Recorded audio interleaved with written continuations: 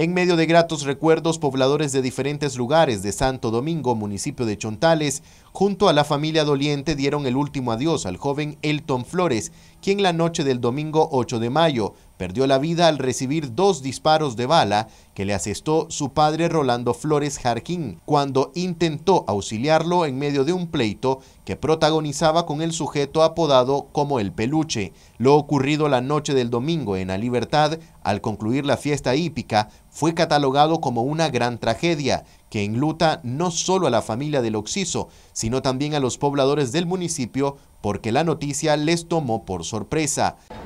Él mató a su, a su amigo, a su hijo. Hoy está preso, él se quiere morir. Y la verdad, huevos, él se va a matar, o se va a morir o se va a matar. Es que en todo Chontales no ha habido una situación como esta, no ha habido. Y espero que no se repita. Eh, yo canté con él, él me dice, yo te voy a ayudar, mi tío. Te voy a dar mi tío, me ayudó, yo canté, yo vine al, mundo a adorar a las mujeres y canté con él.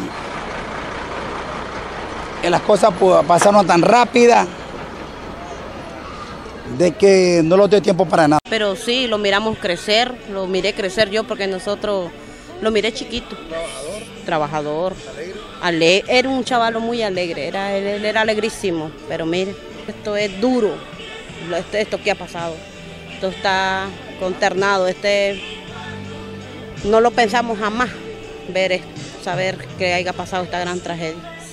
El entierro del joven fue multitudinario y participaron empresarios, ganaderos, obreros de la pequeña minería, autoridades municipales y lo encabezaba la patrulla de la policía de Santo Domingo, demostrando el aprecio que le tenían al difunto. Asimismo, hubo participación de pobladores de localidades cercanas como La Libertad y El Ayote.